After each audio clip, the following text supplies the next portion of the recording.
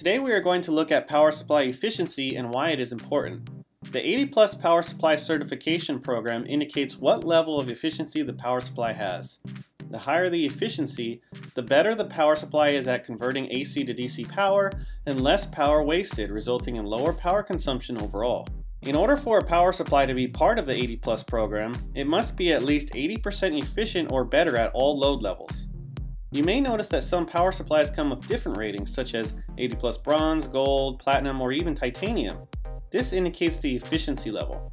80 plus gold indicates a 90% or better efficiency level at 50% load, and the highest rating, titanium, indicates a 94% efficient design at 50% load. Power supplies with higher efficiencies use better internal components, reduce overall power consumption, and also reduce the amount of heat generated by the power supply. When shopping for your next power supply, make sure to check the 80 plus rating to ensure you are getting an efficient power supply.